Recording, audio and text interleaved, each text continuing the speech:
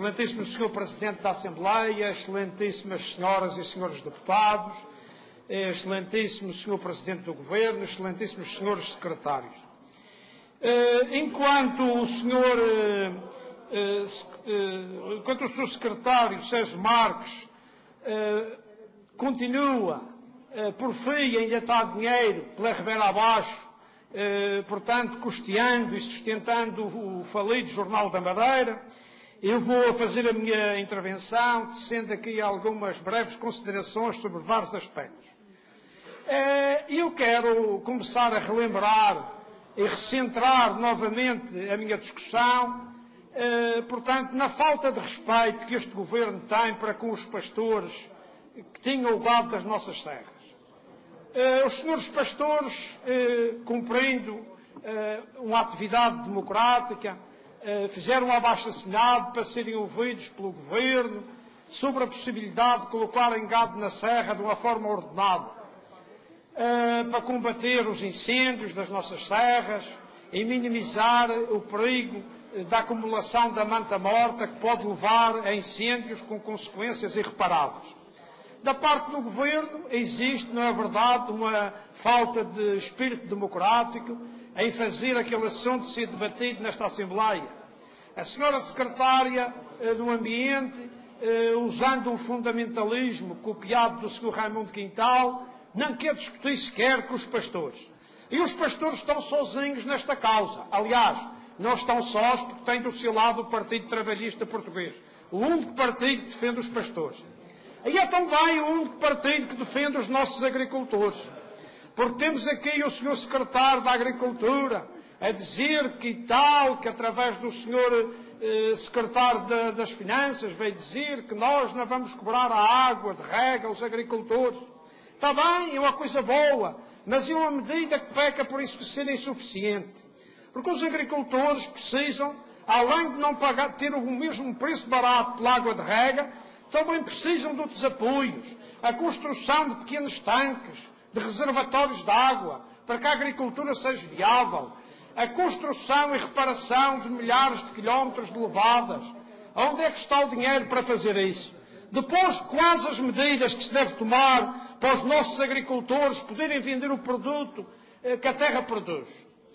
O que se passa é que o nosso agricultor, quando produz as semilhas, quando produz a batata doce, a cebola e as couves e outras culturas, quer vender, ninguém compra. Porque os supermercados, o continente, o Ping Doce, trazem tudo do continente mais barato. Quem é que fala pelos agricultores? Ninguém, meus amigos, só o Partido Trabalhista. E agora que dizer, eh, portanto, das visões eh, quiméricas deste governo do senhor eh, Miguel Albuquerque. Ele copiando, eh, portanto, a utopia do jardinismo. Sabemos que o jardinismo falava na Singapura do Atlântico. Eh, também o regime do senhor, do, do senhor Presidente Miguel Albuquerque, aqui no seu caderninho da renovação, onde ele se propunha em traçar as grandes linhas de desenvolvimento do seu governo, do seu futuro governo, ele falava aqui, eh, portanto, na, na Madeira e a bacia do Atlântico. E então vinha com um tratado científico onde se fala que os chineses estão a construir um novo canal do, do tipo do Panamá, nas Honduras, para ligar o Atlântico ao Pacífico, e que, portanto, a Madeira será um lugar privilegiado quando vierem aqueles grandes navios do Oriente que, atravessando o Mediterrâneo, o Mediterrâneo, o mar Mediterrâneo, vão chegar à Madeira e vão fazer da Madeira um interposto comercial eh, faraónico, tipo Roterdão, na Holanda. Claro que isto é tudo muito bonito, mas isto é tudo conversa que nunca se tornará realidade. Porque nós, com o porto de, carga entregue ao Grupo Sousa, nunca mais vamos ser um interposto, eh, portanto, para essas cargas que vão demandar o Atlântico rumo, eh, portanto, ao novo canal que os chineses estão abrindo nas Honduras. Eh, vemos que a única coisa que parece que o regime jardinista acertou foi no caso da exportação de inteligência conativa.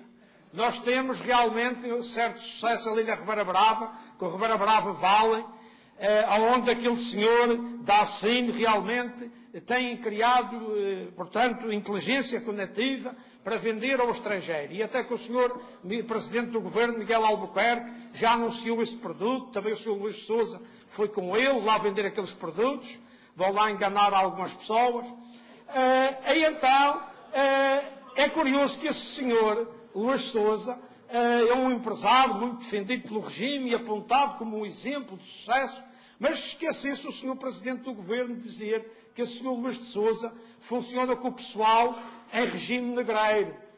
Tudo trabalha ali a recibo verde, sem férias, sem 13 terceiro mês. Que não é desgraça, na é verdade.